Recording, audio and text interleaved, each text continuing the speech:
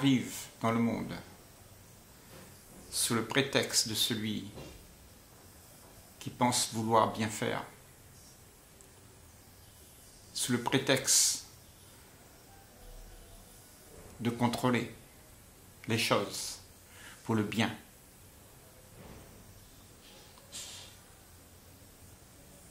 Donc le bon, celui qui pense être bon, fait la guerre et crée la souffrance dans le monde.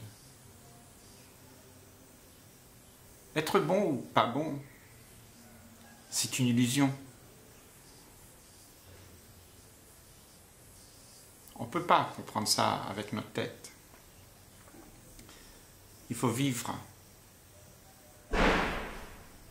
ce sentiment et le reconnaître, le regarder, l'observer, pour comprendre c'est absurde. On ne peut pas faire la guerre pour avoir la paix.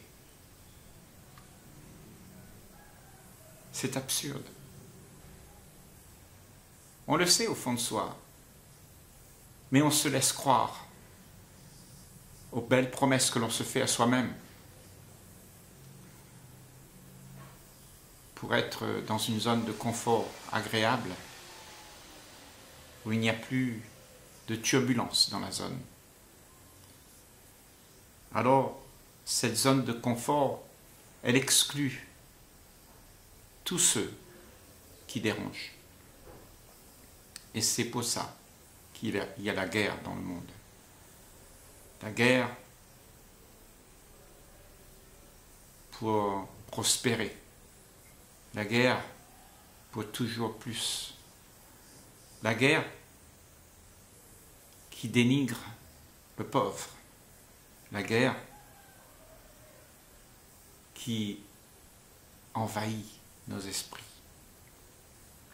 Et une guerre a besoin d'applaudissements pour qu'elle puisse avoir lieu. Et qui l'applaudit? Ce sont ceux qui pensent que oui, on doit éradiquer le mal. Mais le mal, il est aussi en toi. Je crois plutôt qu'il faut l'éradiquer en soi. Et ça, c'est toute la difficulté de notre civilisation, c'est que nous pensons que il faut l'éradiquer à l'extérieur de nous. On ne veut pas voir ce qui se passe en soi, toute la violence qu'il y a, de vouloir contrôler, de vouloir arranger, de vouloir mettre les choses à son goût pour pouvoir être en paix. Et quelle paix, dira-t-on? Une paix qui ne dure pas, qui est toujours dans l'attente de toujours plus de paix. Parce que avec cette attitude, on crée toujours plus du vouloir d'être bien. Peut-être que la vie n'est pas ça. Peut-être que nous devrions abandonner ce cheminement de vouloir quelque chose qui est pour l'intérêt personnel, de vouloir la sécurité, de vouloir mettre en place dans sa vie une zone de confort qu'on protège de toute intrusion. C'est ce qui fait l'homme d'aujourd'hui, l'individualisme qui prône les rues et qui fait que chacun d'entre nous, on s'isole derrière les murs de nos zones de confort, nos privilèges, nos idées, nos envies, nos désirs, nos impulsions, nos compulsions. Tout ça, ça forme notre zone de privilège, où on bâtit un monde qui est séparé de tout un chacun. C'est un monde à l'insu du reste. C'est un monde qui profite à quelques-uns, mais qui ne profite pas à la volonté collective d'être joyeux. On attend tous de la vie quelque chose de merveilleux. Mais pourquoi ça n'arrive pas? C'est parce que, justement, nous les hommes, nous sommes nous-mêmes nos propres ennemis. Nous sommes les ennemis de nous-mêmes. Nous sommes les ennemis de la vie. Nous sommes les ennemis de la joie d'être. Nous sommes les ennemis de l'amour, de l'harmonie. Nous sommes l'ami du chaos. Et dans ce chaos, nous trouvons plaisir à nous confronter pour se faire une place pour soi, à l'aise, dans ce chaos. Et c'est le monde que nous avons adopté. Pourquoi? Pourquoi est-ce ainsi? Pourquoi nous faisons ça? Parce que peut-être que nous ne voulons pas voir l'ordre comme étant essentiel.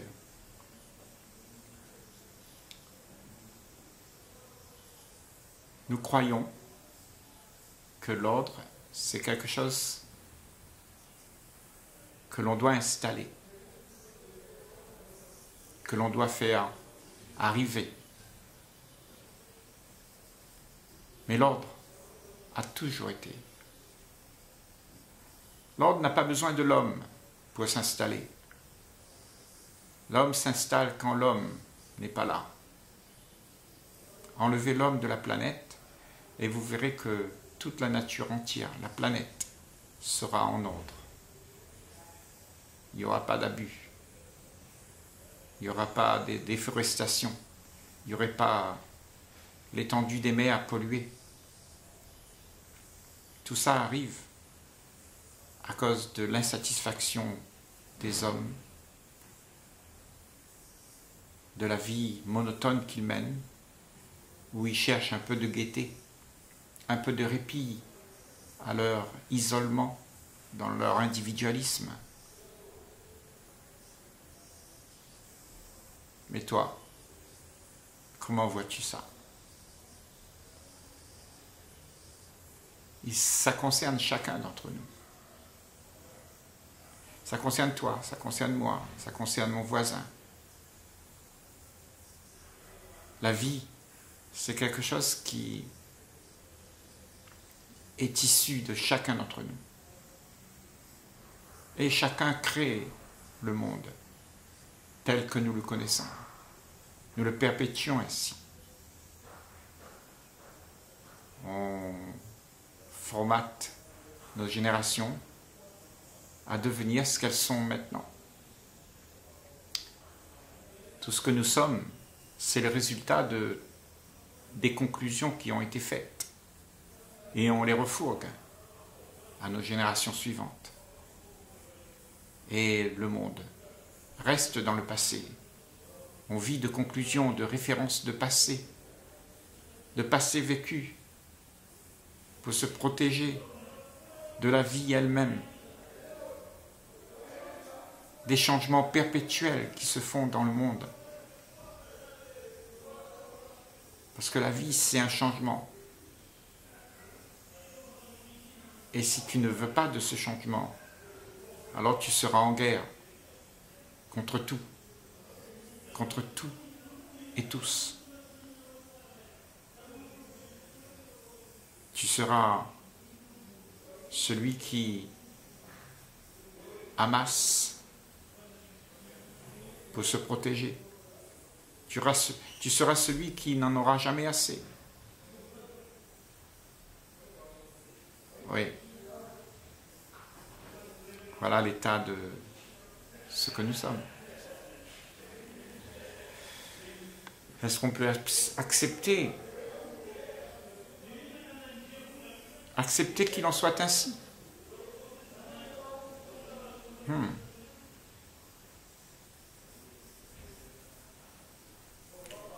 Je me suis réveillé avec ça ce matin. Et je me suis réveillé avec justement cette impression. Je me suis réveillé avec cette impression que si la guerre existe, c'est parce qu'il y a ceux qui la glorifient. Hmm. Et ceux qui la glorifient, ce sont ceux qui cherchent à trouver un intérêt commun ou personnel.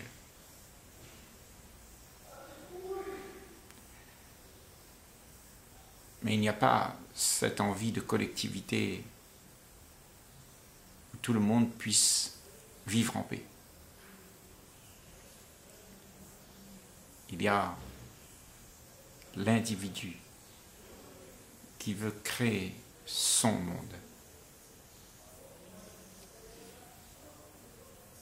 Le monde de chacun. Le monde qui m'appartient. Mes idées, mes histoires, mes croyances, tout ce que j'aime et tout ce que je veux protéger. C'est un monde de rivalité entre tout un chacun pour accéder à la position dans laquelle il y a de la valorisation. On veut se faire valoriser. Peut-être que c'est parce qu'on a peur d'être ce qu'on est. Peut-être que ce qu'on est n'est pas reconnu dans ce monde. Mais ce que le monde aimerait voir, c'est ce que on cherche.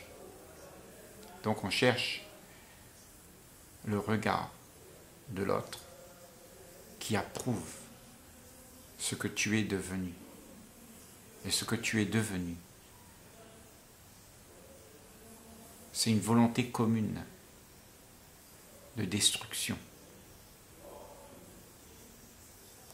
de la beauté, de l'amour, de la joie.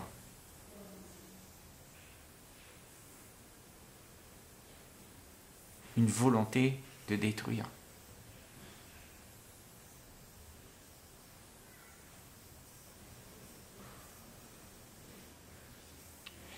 Un réflexe compulsif qui s'engage sur une voie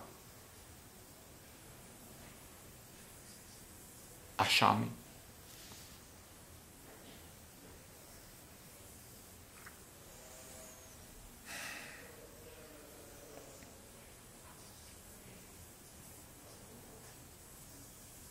Peut-être que c'est ça qu'il faut voir, comment tout ça se passe en soi. comment nous, les êtres humains, sommes fabriqués. Toutes ces pensées qui viennent et qui nous embarquent dans la compulsion, dans le désir d'être euh, satisfait, est un processus psychologique qui t'empêche de voir la vie telle qu'elle est, qui te fait croire que la vie est quelque chose qui doit te plaire, doit te satisfaire, doit te euh, combler.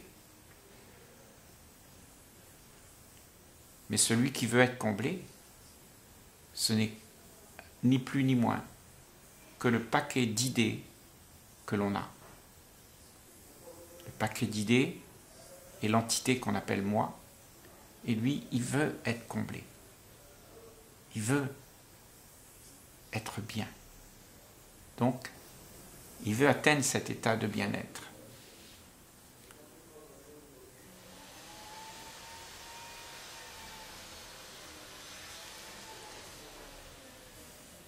Et pour atteindre ce bien-être, justement, il y a tout un processus psychique qui se fait. Ça s'appelle le désir, l'ambition. Et là, on est pris dans un mouvement qui nous, un engouement, quelque chose qui nous propulse vers la pas du gain. Et tout ça se fait inconsciemment. C'est une machine qui est programmée pour faire ça. Mais la présence d'esprit n'est pas là. Tu es absent à la machine. Et tu t'identifies à la machine. Tu crois que c'est toi qui fais tout ça. Mais ce toi qui fait tout ça n'est que la pensée à laquelle tu t'es identifié. Donc, tu penses être tout ce que tu veux. Mais en réalité, ce que tu es à ce moment-là n'est que le programme qui se profile pour le but qui est miroité. Le but, c'est d'éradiquer l'insatisfaction. Le but, c'est d'éradiquer tout le processus du vouloir être dans le bien-être. Nous voulons ce bien-être. Mais ce bien-être appartient à une demande exponentiellement insatisfaisante. Elle ne sera jamais comblée. Et elle appartient à celui qui veut, à celui qui se sent mal. Et qui se sent mal Eh bien, c'est celui qui s'est identifié à ce corps. Ce corps qui est toujours en demande, en demande de bien-être. Donc, vient aussi toutes les idées, les croyances, les réconforts qu'on peut trouver. Et comment on les trouve? Eh bien dans les idées qu'on se fabrique, les histoires qu'on se raconte. Et tout ça, ça nous embarque. Mais sais-tu que tu n'es pas tout ça? L'idée, c'est quelque chose qui vient d'un processus psychologique qui tente à chercher à mettre en place une zone de confort. Et cette zone de confort n'est jamais satisfaisante puisqu'elle sera toujours dérangée parce que la vie, elle est dans toute sa profondeur. En quelque sorte, tu combats la vie être ce que tu n'es pas. Ce que tu es est la vie. Et ce que tu n'es pas, c'est ce que tu aimerais être. Et c'est tout cet engouement entraîné par la promesse que tu te fais à toi-même qui fait que tu es dans ce processus. C'est-à-dire que la machine psychique a pris possession de l'événement. Elle fait sans que tu ne sois présent. Tu n'es pas présent. Tu es absent de la scène. Alors, si tu pouvais voir ce qui se passe, et pour cela, il faut que tu aies l'esprit calme, en paix, attentif, observateur de ce qui se joue. Tu peux sortir de tout ça, sortir de toute cette envie d'être bien. Et là, tu t'aperçois que tout ce qui existe autour de toi, que ce soit ton corps, ta maison, ton appareil photo, tout, c'est une illusion.